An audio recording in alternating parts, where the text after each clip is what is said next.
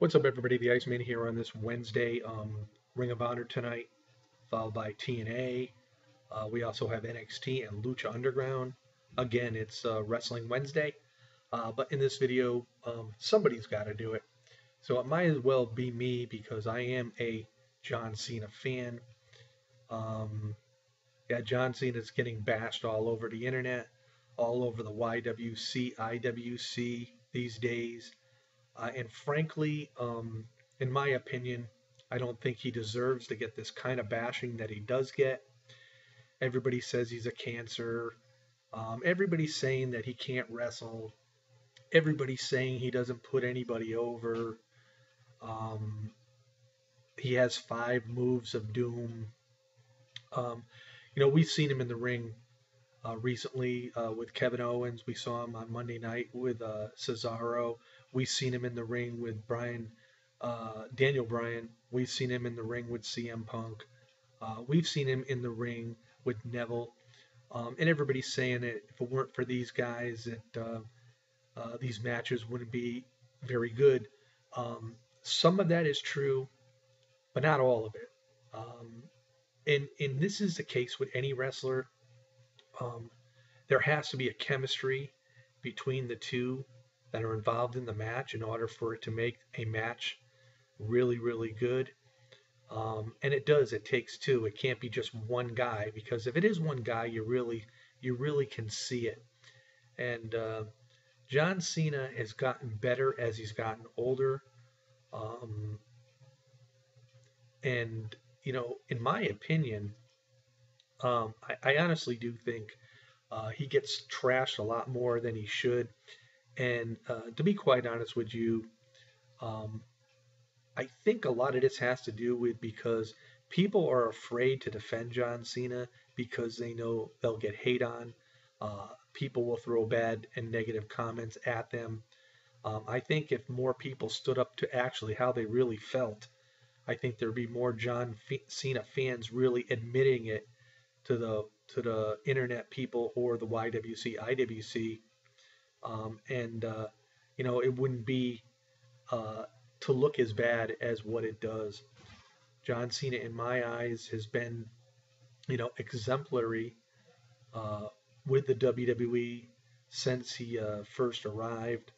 Uh, I know in the early days, um, you know, he really didn't do a heck of a lot, and then he did the thug thuganomics thing with the chain wearing the jerseys and, and doing the rap and you know that was that was fun to watch back then. But john cena had a goal. John cena wanted to become bigger. He wanted to become in the spotlight. He wanted to grasp those title belts. And in in all fairness that thuganomics gimmick with john cena probably never would have got there. And i think he knew it. Um, he went into the ruthless aggression era which was a transformation, was like in, in between what he is now and what he was with the Thuganomics. And uh, it showed a little potential uh, for John Cena, and uh, it showed some promise. And but still, he wasn't happy. Um, he wanted to be the man that could, um, you know, really, you know, be up there, uh, be popular. He wanted the fans to really get behind him and um, he changed his character, and so he become the guy that's become that's really behind the country, uh, a patriot. Um, he defends the the armed forces. He defends his country, um, and look where he's gone. He's gone to the point where he is now the face of the WWE. Um, his merchandise selling was phenomenal. I don't think he's at the very top anymore, but that's to be expected when you've been around in the ring for 13 years. And uh, you're going to lose popularity. Um, you know, he's now out of the title picture. He's a 15 time world champion. He's one away from uh, grasping that tie with Ric Flair. Um, a lot of people don't want him to get it. Um, in my eyes, I would like to see him get it. It wouldn't even bother me Um, I wouldn't even mind to see him surpass Ric Flair just for the fact that Cena's been with the company and only the company with his title reigns. Um, uh, unlike Ric Flair, who's you know jumped ship from time to time. He's had uh, title reigns back in the uh, NWA days, the WCW days, and the WWF days, and you know, and he's gone back and forth. So for me, Cena surpassing Ric Flair would not be a problem. But uh, yeah, um, just lately it just seems like everybody's really getting down on John Cena, and and it's sort of ironic too because he's had some phenomenal matches with Kevin Owens. Uh, a lot of people are saying, well, you know, he should lose all these matches with Owens and put Kevin Owens over. But the bottom line is, Kevin Owens does not need to be put over as much as one would think. He's already there. He's already a major star in the WWE. And this way it protects both guys by, you know, going back and forth, dancing back and forth with with uh, the victories. Um, people are asking what will be the outcome at Battleground. I think it's going to end pretty much in a disqualification.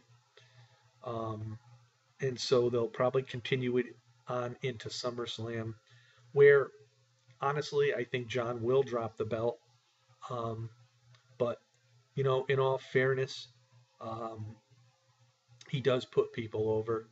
Uh, he has become even better in the ring. I'm seeing moves uh, now that I've never seen him do before, and everybody's saying, well, he's copying the stunner. Uh, he's doing this, he's doing that. But, you know, in all fairness to John Cena, look at all the other wrestlers. How many variations of the sharpshooter are there? How many variations of the STF are there? Um, everybody has a signature name for a very, very similar move that other wrestlers use. But it seems like only John Cena, only people talk about that. So, in my eyes, John Cena has been a true champion within the WWE since he's risen to the top. And um, I, for one, have been a fan. I always will be a fan. And I think it will be a very, very sad day when the time comes that John Cena is no longer in the WWE, and people won't realize it until he is really gone. And um, you know, then they're going to say, "Oh wow, you know, we miss Cena." Much like what happened with CM Punk, everybody bashed Punk when he left, the way he left, and now everybody's complaining because Monday Night Raw is is is just not a good good show. People are bashing the product, um, and a lot of people are saying, "Boy, I wish Punk was back." and they're going to say the same thing about John Cena once he's gone. So really, um, be careful what you wish for, and um, honestly, if you would really admit it to yourself, you really would admit that John Cena is a halfway decent wrestler within the wrestling ring, and he is an all-around pretty decent guy as well. So those are my thoughts on John Cena on this day uh, July 1st, 2015. Hope everybody has a great day. Uh, wrestling tonight. We'll see y'all next time. This is the one and only, the Iceman.